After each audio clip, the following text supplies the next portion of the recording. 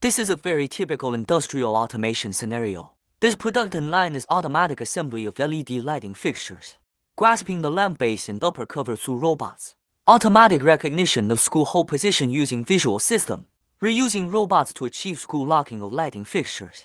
The entire production line can achieve complete unmanned operation, can effectively improve production efficiency, improve product quality, lower production costs,